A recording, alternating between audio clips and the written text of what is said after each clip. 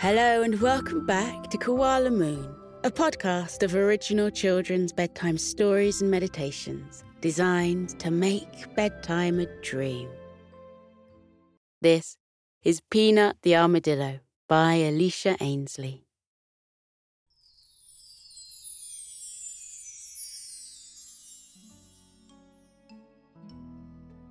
Peanut was an armadillo.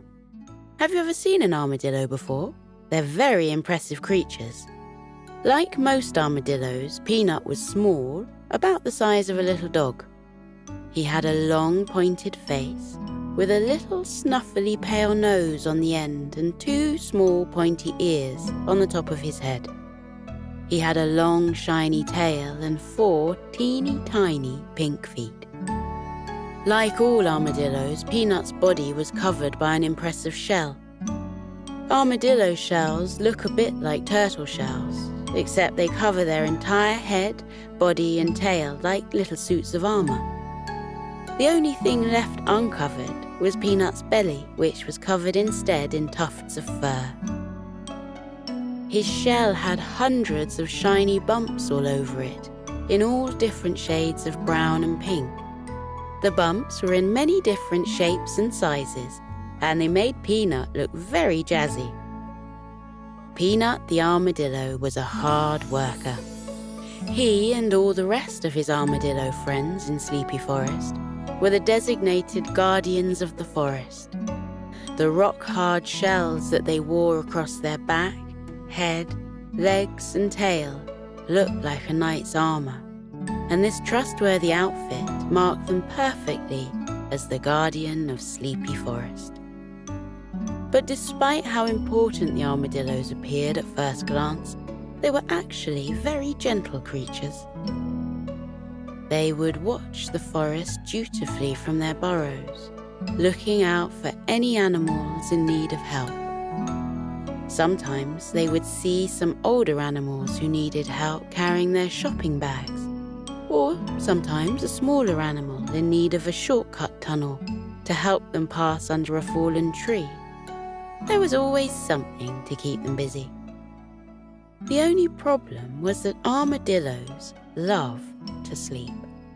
In fact, armadillos sleep for up to 16 hours a day. So the armadillos had to take it in turns to stay awake and keep watch over Sleepy Forest, while the rest of the group slept in their cozy underground burrows. Peanut the armadillo was a dedicated worker and he took his job very seriously. However, he was absolutely exhausted. Peanut hadn't had a day off work in years, and the effects were starting to show. He yawned his way through every shift, and he had big droopy bags underneath both of his little eyes. Sometimes he was so tired that he would forget that he was on duty and take a little nap, only to wake up and find a disgruntled fellow armadillo standing over him, ready for their shift. Peanut thought he was in big need of a vacation, and all the other armadillos agreed wholeheartedly. So, one Sunday afternoon, Peanut packed his little suitcase with a few essential items for his holiday.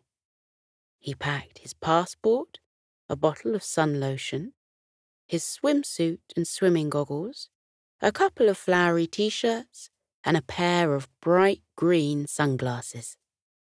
Peanut was going to take a vacation somewhere very special to him. He was going to go to his home country of Costa Rica in Latin America. Peanut had never been to Costa Rica before. He'd been born beneath the shady trees of Sleepy Forest and had never stepped foot in his family's homeland. But he had heard lots from his parents about what a magnificent country Costa Rica was. So it made perfect sense that it should be the place he went on holiday. Peanut's fellow armadillo friends waved him off as he said goodbye, and they wished him a wonderful vacation. Peanut headed to the airport and boarded the aeroplane to fly to Costa Rica. The flight was going to be long, and Peanut had never been on an aeroplane before. At first, he was nervous. What would it feel like to fly through the air? He wondered. His little pink feet had never left the ground before, and soon they were going to be thousands of miles up in the air. However, as the plane set off and began soaring through the sky, Peanut immediately relaxed. Whee! he shrieked as the plane whooshed and soared up into the air. Peanut gazed out of the airplane window and watched as Sleepy Forest grew tinier and tinier as they flew up higher into the sky. He couldn't believe that he was actually flying above the earth with all the other passengers, and flying was actually really fun. At that moment, a big red dragon, followed by three little baby red dragons, fluttered past his window, holding suitcases of their own. The family of dragons must be heading off on their vacation too. Peanut waved to the dragons, and they grinned and waved back before flying further ahead. Dragons didn't need an aeroplane to get places. Their huge wings did the job for them. Peanut the armadillo settled into his seat and closed his eyes. He had a long journey ahead, and he wanted to make sure that he was well rested to make the most of his holiday when he arrived. When Peanut landed in Costa Rica, the first thing that he noticed was how much warmer it was compared to Sleepy Forest. As soon as the door to the plane opened, Peanut felt a wave of warm air wash over him, and he instantly needed to take off his jacket. He stepped off the plane into the blazing midday sun and tilted his pointy little face to the sky. He had never seen a sky so blue and so clear before. There wasn't a single cloud in the sky. This was going to be a perfect vacation, he could tell. Peanut checked into his hotel and decided to head straight to the beach to enjoy the glorious sunny weather. He arrived at the sandy beach and found a spot to lay down his towel close to the beautiful azure sea. He rubbed sun lotion all over his scaly body, making sure that he didn't miss a single spot. He didn't want to burn, after all. Then he placed his bright green sunglasses on his face and lay down on his towel to sunbathe.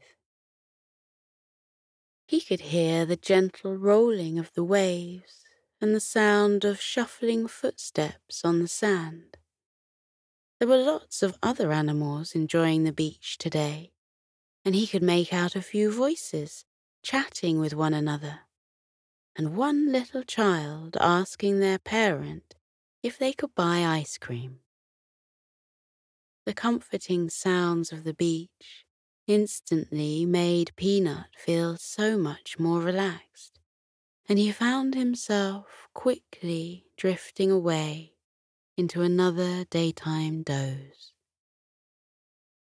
Just as Peanut was about to fully drift off, he heard a voice next to him ask, Would you like a coconut, sir? Peanut opened his eyes to see a black monkey with a white face standing above him, holding a big basket full of brown fuzzy coconuts.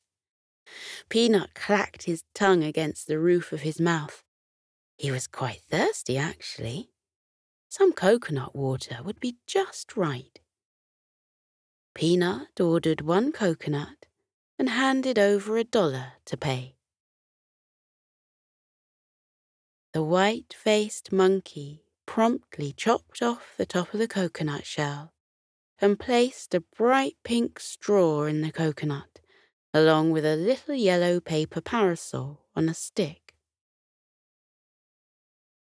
He handed the decorated coconut to Peanut, and Peanut took a big slurp of the sweet coconut water. It was delicious and incredibly refreshing on such a hot day. Peanut thanked the white faced monkey for his scrumptious drink, and the monkey went on his way to offer more coconuts to other beach goers. Peanut drank his coconut water and looked out at the sea. It was full of life. He could spot dolphins giddily jumping out of the water and twirling in the air before landing back under water with a plop he spotted a huge green sea turtle toddling its way across the beach and into the cool waters for a revitalizing swim. Plus, he could see a pair of white spotted eagle rays floating through the waters together, gliding with grace and laughing at a funny joke shared between them. The more that Peanut looked at the sea, the more he wanted to go swimming in it. He finished drinking from his coconut and put his goggles on. Armadillos are very good swimmers, and Peanut swam out into the sea with ease. He swam up to the dolphins and watched their fantastic gymnastics show up close. He dove to the bottom of the sea floor alongside the sea turtle to admire the dazzling coral reef. It was so colourful down at the coral reef. Peanut had never seen such a spectacular place. He would have never imagined that there was such beauty hidden at the bottom of the sea. He had such a delightful swim through the refreshing waters. Peanut already felt ten times better being on vacation. He had no work to think about, and he could do whatever he wanted and rest as much as possible. It was utter bliss. After his swim, Peanut returned to the shore to grab his things. He was feeling slightly peckish, so he thought it would be a good idea to go and get some food. He spotted a lovely looking restaurant by the beach. He read the menu outside, and there were all sorts of unique dishes that he had never heard of before. He couldn't wait to try them. He went and sat himself down at one of the tables on the veranda and tried to catch sight of a waiter.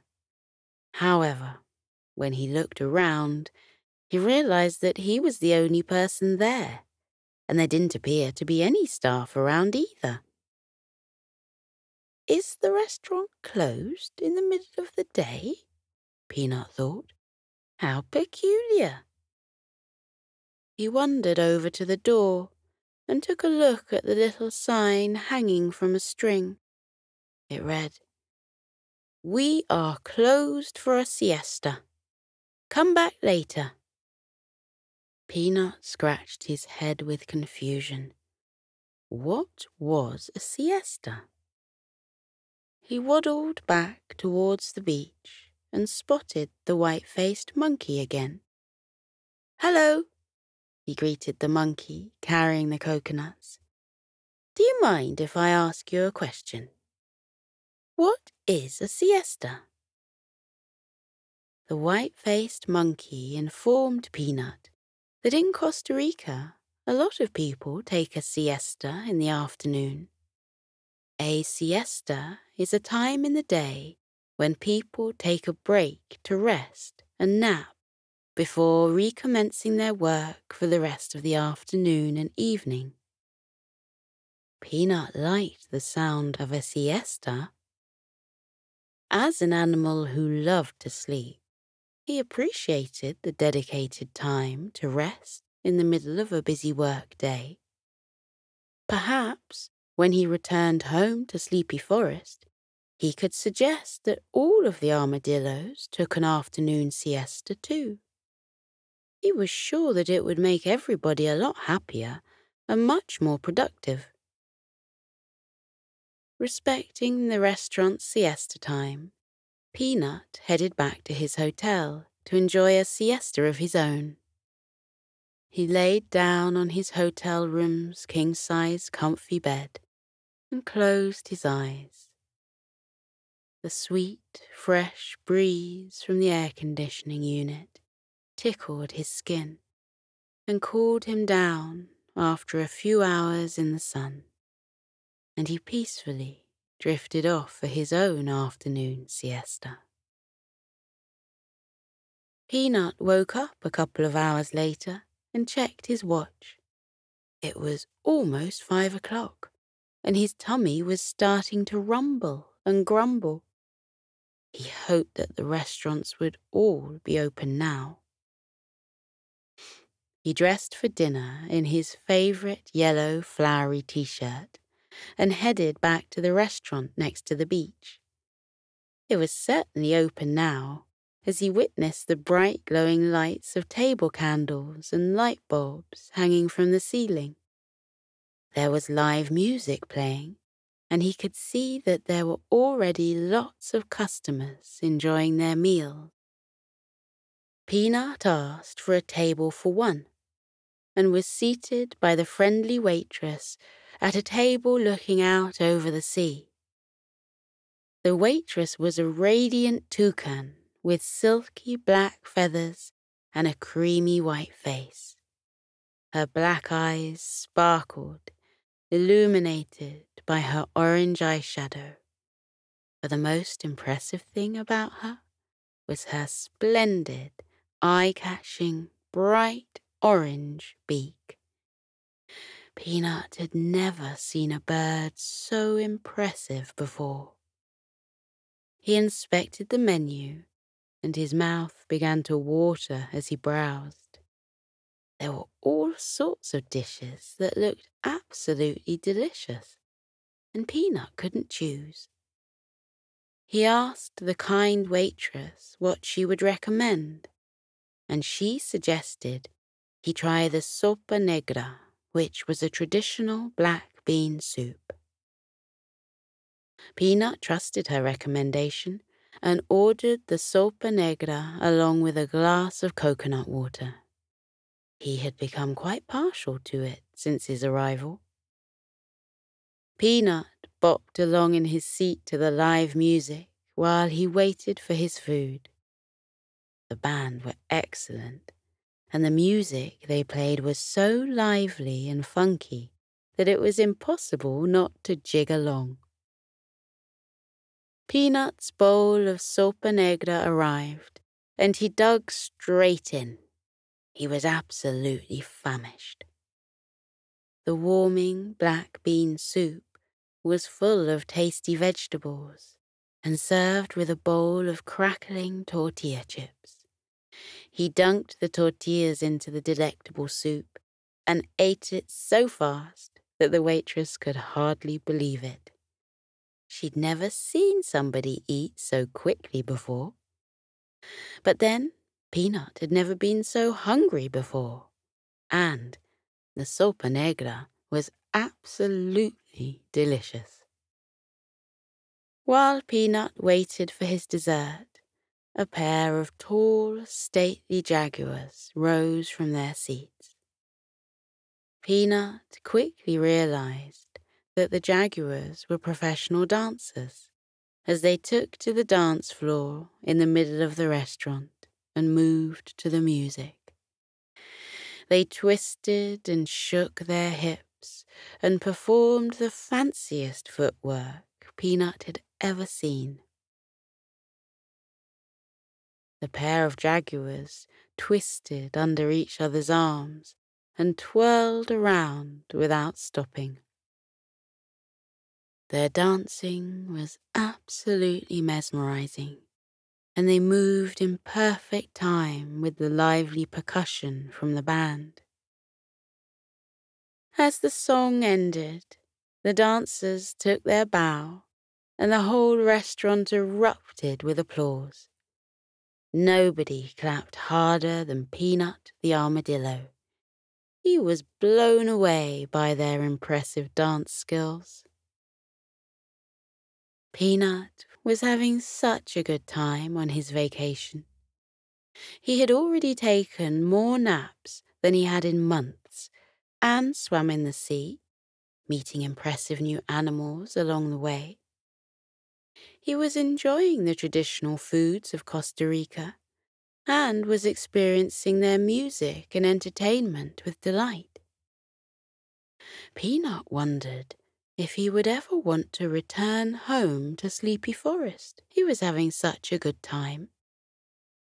Peanut's dessert arrived. He had ordered a mouth-watering dessert made with milk, rice, and cinnamon called arroz con leche. It looked absolutely delightful. Before the toucan waitress left, Peanut asked her, Excuse me, what kind of dancing were those jaguars just performing? I've never seen anything so intricate and enchanting before. The waitress explained that the jaguars had been dancing the salsa. Salsa dancing was a very popular dance form in Costa Rica and across other countries of Latin America. Peanut was captivated. Peanut was eager to gobble up his dessert, but right at that moment, the professional dancing jaguars started to encourage diners in the restaurant to join them for a salsa dancing lesson. Peanut's ears pricked at the suggestion and his eyes lit up. He would love to learn how to salsa dance just like the brilliant performers he had just watched. He ate up his arroz con leche dessert in record breaking time and hopped up onto the dance floor. He walked up to the female jaguar and asked, Is it all right if I join in? I would love to learn to dance like you. She replied that of course he could join in. In fact, he could be her dance partner.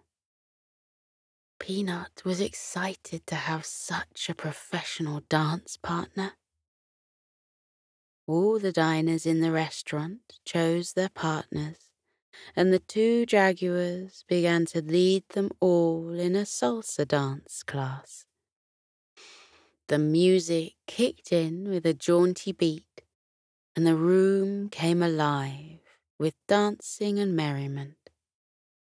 The jaguars taught them all how to hold each other correctly and step their feet forward and back past each other and twist and twirl under each other's arms.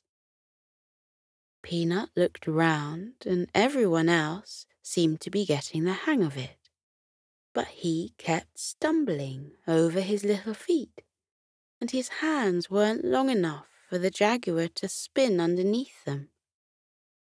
Peanut tried as hard as he could to shake his hips like everyone else, but his heavy armored shell got in the way, and he looked as stiff as a board. The sweet dancing jaguar could see Peanut struggling and reassured him that it would get easier. But the more that Peanut looked around and saw everyone else perfecting their moves, laughing and having fun, Peanut felt left behind. He just wasn't a natural salsa dancer. Suddenly, the jaguar that Peanut was dancing with, clapped her hands in the air and announced to the crowd on the dance floor that they would now all have an opportunity to perform a shine. A shine was a small dance break in which they all would have the opportunity to improvise and create their own moves in a bid to enjoy a shining moment. Peanut felt stumped. He wasn't a very good dancer, and he would surely make a fool of himself without the jaguar to lead him in some dance moves. Peanut looked around and saw that the other diners were all happily breaking free of their partners to dance and shine. They were all twirling on the spot, twisting their hips and stomping their feet. Everyone seemed to have such better rhythm than him. Peanut started to feel a bit self conscious that he wasn't confident enough to break free on his own and perform a shine. But then he had an idea. Peanut may not be able to shake his hips in his tough armored shell, or stomp his tiny little feet with enough impact, but he could make the most out of what his unique body could do. Peanut curled up within his shell until he was as tight as a ball. He tucked in his head, pulled in his tail, and began to roll around the dance floor. Everybody had to move out of the way as he sped around excitedly. He spun, bounced, and wound his way underneath people's feet and through their legs. He created quite the scene, and when he finally popped back up out of his shell and faced everyone else on the dance floor, nobody else had even completed their shining moments. Peanut had completely stolen the show, and the other dancers applauded him for his creative, impressive shine. Peanut smiled and bowed humbly, and the jaguar patted him on the back of his shell. I told you it would get better, she whispered. When the salsa dancing class was over, Peanut returned to his table and paid his bill. He stretched his little arms above his head and let out a big yawn.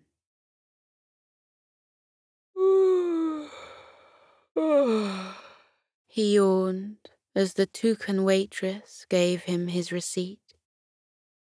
I think I'm ready to return home for a siesta, he added. The toucan giggled and told him that a siesta is only what you have in the afternoon. What Peanut needed to return home for was a good, old fashioned night's sleep. Peanut blushed and thanked her for taking care of him that evening. He clearly still had plenty to learn about Costa Rica, but he couldn't wait to know more. Peanut walked back to his hotel and practically fell into his bed that night. His day had been so full of so many fun activities, and he had filled his belly with so much good, hearty food. Plus, he had enjoyed several delightful naps throughout the day.